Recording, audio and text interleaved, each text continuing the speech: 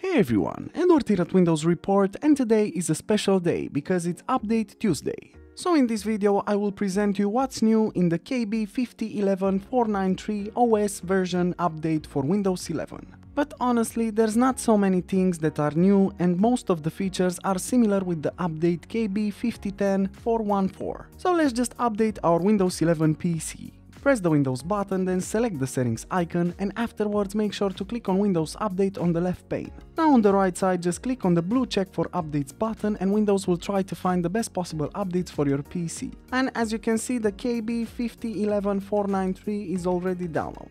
All you have to do is simply wait until this will download and then install it. And the last thing you have to do is restart your PC for the changes to take place. So here we are, we just restarted our PC after installing the latest updates and now we just want to make sure that we have them fine on our PC. So in order to check these updates, press the Windows button then select the settings icon and afterwards make sure that system is selected on the left pane. Now on the right side of the window scroll down until you find the about section and click on it. In here under Windows specifications you can check the OS build.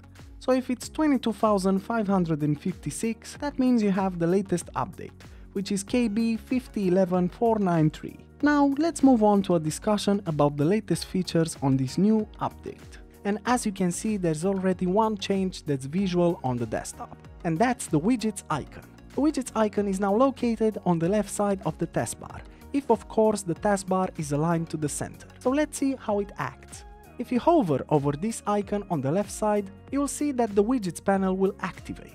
At the moment I'm not signed in, but usually the widgets will show you weather information, news and other pieces of information. So if you hover off of it, you'll see that it will automatically disappear. I think that's super simple and it saves a lot of clicks. So just hover on it and it shows up, hover off of it and it disappears. And now let's just move on to Microsoft Edge which has one new feature and two fixes implemented with this new update. This new update provides the ability to share cookies between Microsoft Edge Internet Explorer mode and Microsoft Edge, which I think is super super nice for certain workflows, because there are websites that can be accessed in the Internet Explorer mode and share the same cookies. But now let's just move to the Internet Explorer mode, so let's just type in a website that opens in that mode.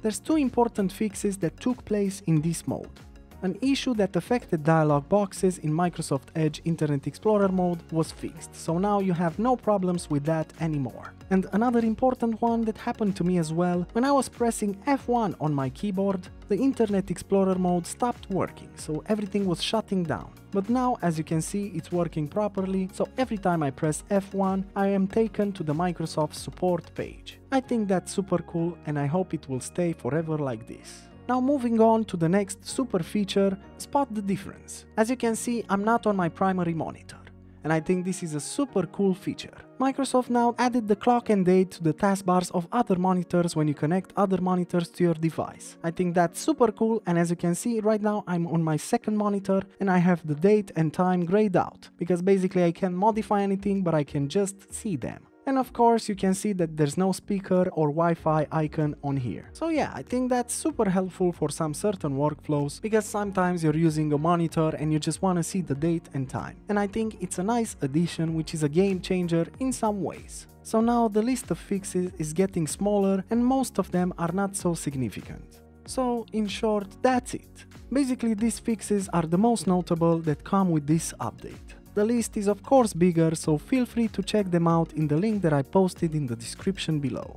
Until next week, enjoy this new update. As usual, for more information and details, you can check the article in the description below.